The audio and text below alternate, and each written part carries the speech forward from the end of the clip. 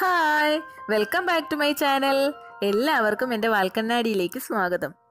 നമ്മുടെ തലയിലെ ഈരും പേനും എല്ലാം പൂർണമായിട്ടും മാറ്റാൻ സാധിക്കുന്ന കുറച്ച് നാച്ചുറൽ റെമഡീസ് ആണ് ഞാൻ ഇന്നത്തെ വീഡിയോയിൽ പറയുന്നത്.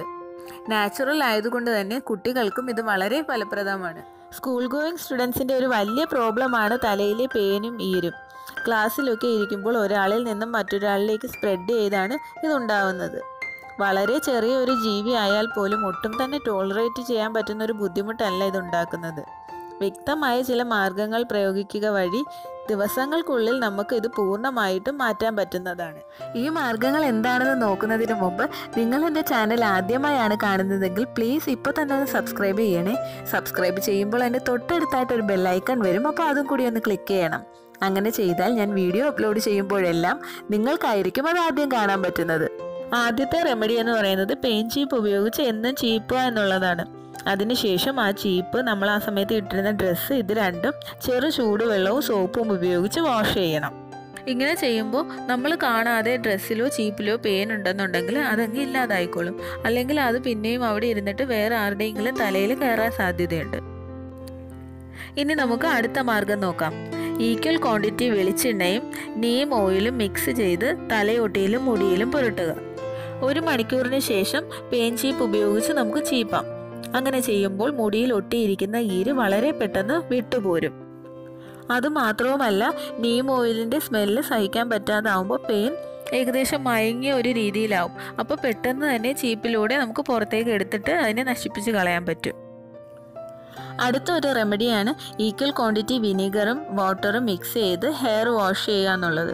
അതെങ്ങനെയാണെന്ന് വെച്ചാൽ നമ്മളിപ്പോൾ എത്ര വിനീഗറാണോ എടുക്കുന്നത് അത്രയും തന്നെ വെള്ളവുമായിട്ട് മിക്സ് ചെയ്ത് തലയോട്ടിയിലും മുടിയിലും നന്നായിട്ട് പുരട്ടണം ഇങ്ങനെ ചെയ്യുമ്പോൾ തലയിലെ ഇച്ചിനെസ് കുറയാനും പെയിൻ വാഷ് ഔട്ടായി പോകാനും സഹായിക്കും. ഇതിനായിട്ട് നമുക്ക് വൈറ്റ് വിനിഗർ അല്ലെങ്കിൽ ആപ്പിൾ സിഡർ വിനിഗർ ഉപയോഗിക്കാവുന്നതാണ്. അടുത്തത് ഒരു ഓയിൽ സ്പ്രേ ട്രീറ്റ്മെന്റ് ആണ്. അതിനായിട്ട് നമുക്കൊരു സ്പ്രേ ബോട്ടിൽ ആവശ്യമുണ്ട്.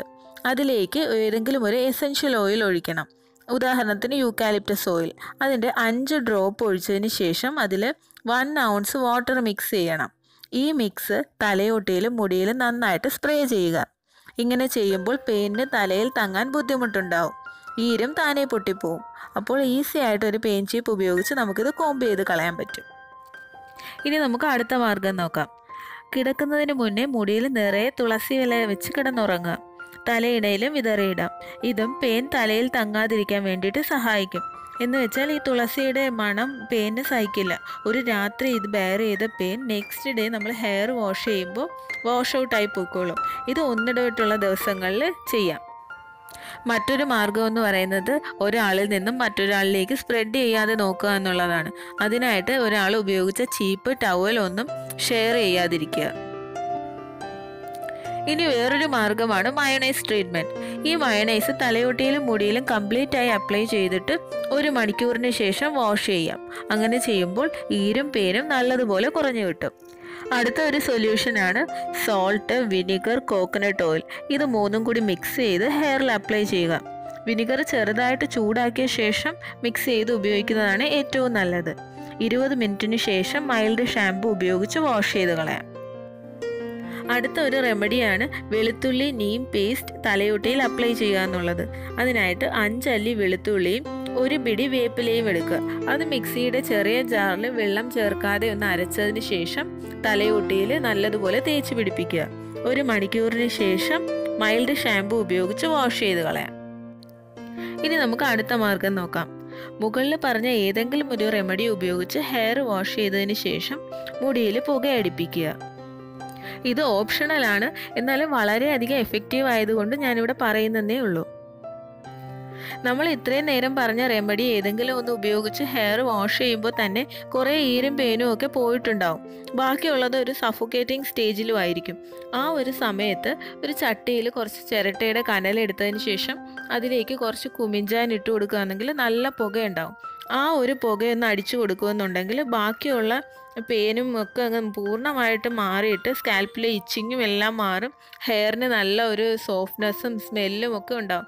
സാധാരണ ഈ തലയിൽ പേനും ഈരും ഒക്കെ ഉണ്ടാവുന്നുണ്ടെങ്കിൽ ഒരു ചെറിയ ബാഡ് സ്മെൽ ഉണ്ടാവുമല്ലോ. അതെല്ലാം കംപ്ലീറ്റ് ആയിട്ട് മാറി ദിവസങ്ങൾക്കുള്ളിൽ നമ്മുടെ മുടി നല്ല ക്ലിയർ ആൻഡ് ക്ലീൻ ആയി കിട്ടും. ഇത്രയും നേരം പറഞ്ഞ് പത്ത് റെമഡിയും കുട്ടികൾക്കും മുതിർന്നവർക്കും ഒരുപോലെ ഉപയോഗിക്കാവുന്നതാണ്. ഇനി ഈരും പേനും വളരെ എളുപ്പത്തിൽ മാറ്റാൻ വേണ്ടിയിട്ട് രണ്ട് മാർഗങ്ങളും കൂടി ഞാൻ പറയാം. ഇത് കുട്ടികൾക്ക് ഉപയോഗിക്കാത്തതാണ് നല്ലത്. പെയിൻ ശല്യം വളരെ അധികമായിട്ടുണ്ടെങ്കിൽ മാത്രം കുട്ടികൾക്ക് ഇത് ചെയ്താൽ മതി. അതിൽ ഒന്നാമത്തത് ഹെഡ് ലൈസ് ട്രീറ്റ്മെന്റ് ആണ്. അതായത് നമുക്ക് മെഡിക്കൽ സ്റ്റോറിലൊക്കെ വാങ്ങിക്കാൻ കിട്ടുമല്ലോ. ഈ ആന്റി ലൈസ് മെഡിക്കർ അങ്ങനെയൊക്കെയുള്ള കുറച്ച് മരുന്നുകൾ വാങ്ങിക്കാൻ കിട്ടും. അത് തലയോട്ടിയിൽ അപ്ലൈ ചെയ്തതിന് ശേഷം നമുക്ക് മൈൽഡ് ഷാമ്പു ഉപയോഗിച്ച് വാഷ് ചെയ്ത് കളയാം. അതിൽ ബോട്ടിലിൽ തന്നെ ബാക്കിൽ എഴുതിയിട്ടുണ്ടാകും അത് എങ്ങനെയാണ് യൂസ് ചെയ്യുക എന്നുള്ളത്. വളരെയധികം കൂടുതലാണെന്നുണ്ടെങ്കിൽ പെട്ടെന്ന് മാറ്റാൻ വേണ്ടിയിട്ട് ഇത് ഉപയോഗിക്കാം. അടുത്ത ഒരു മാർഗമാണ് ഹെയർ ഡ്രയർ അല്ലെങ്കിൽ ഹെയർ അയൺ ഉപയോഗിക്കുക എന്നുള്ളത്. ഞാൻ നേരത്തെ പുകയടിപ്പിക്കുന്നതിനെ പറ്റി പറഞ്ഞല്ലോ. അതൊരു നാച്ചുറൽ റെമഡിയാണ് അതിന് പകരമായിട്ട് ഉപയോഗിക്കാൻ പറ്റുന്ന വേറൊരു മാർഗമാണ് ഹെയർ ഡ്രയർ യൂസ് ചെയ്യുക എന്നുള്ളത് അല്ലെങ്കിൽ ഹെയർ സ്ട്രെയിറ്റ്നർ യൂസ് ചെയ്യുക എന്നുള്ളത്. ഹെയർ വാഷ് ചെയ്തതിന് ശേഷം ഈ ഹെയർ ഡ്രയർ തലയിൽ ഉപയോഗിക്കുമ്പോൾ നമ്മുടെ ആ ചൂട് സഹിക്കാൻ പറ്റാതെ പേനെല്ലാം ഇല്ലാതായി പോകും ഹെയർ വാഷ് ചെയ്തതിന് ശേഷം സ്ട്രെയിറ്റ്നർ യൂസ് ചെയ്ത് മുടിയിൽ ഒരു ചൂട് കൊടുക്കുകയാണെന്നുണ്ടെങ്കിൽ ആ പറ്റി പിടിച്ചിരിക്കുന്ന ഈരെല്ലാം തന്നെ പൊട്ടിപ്പോവും.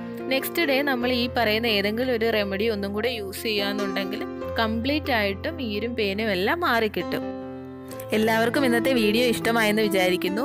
മറ്റുള്ളവരുടെ അറിവിലേക്കായി വീഡിയോ ജസ്റ്റ് ഒന്ന് ഷെയർ ചെയ്തേക്കുക. ഇങ്ങനെ ഒരു ചാനൽ ഉണ്ടെന്നും അതൊന്ന് സബ്സ്ക്രൈബ് ചെയ്യാനും കൂടി ഒന്ന് പറയുക. ഇനി നല്ലൊരു വീഡിയോയുമായിട്ട് വരുന്നത് വരെ ടാറ്റാ. Thank for watching